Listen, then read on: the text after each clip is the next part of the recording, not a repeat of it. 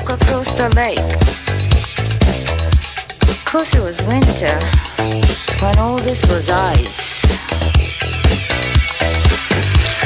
That's a hell of a thing to do, you know. They say the lake is as big as the ocean. I wonder if she knew